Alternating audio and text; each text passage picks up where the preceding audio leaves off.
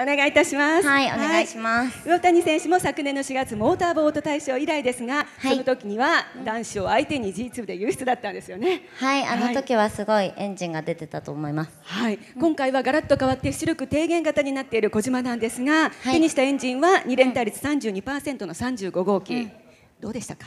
いやーちょっと前傾の感じはあんまり良くなさそうだったので、はい。はい、スタートも全然届かないしちょっとずらしても届いてなかったのでちょっと行き足が悪いのかなと思って、はい。結構いろいろ変えてギアケースもやって、はい。はい、今日の方が感じが良かったです。はい、この大谷選手のエンジンもゴールデンウィークから新ペラなんですが、では悪かった分いろいろいろいろ作業をすることがあって、その分楽しみもありますね。はい、そうですね。この後またバルブもちょっと組み直して、はい、プロペラも叩こうと思ってるので、はいはい、あのー少しずつですけど、はい、上向きにはなってるんじゃないかなと思います。はい、やることはすべてやって6レースの1号艇、ここに備えると。はい、そうですね。前走の平和島、そしてその前の玉川と連続輸出中ですが、近況のリズムはいかがですか？はい、えっ、と次の丸亀女えっ、とクイーンレディースチャンピオン。レディースチャンピオン。チャンピオン。はい。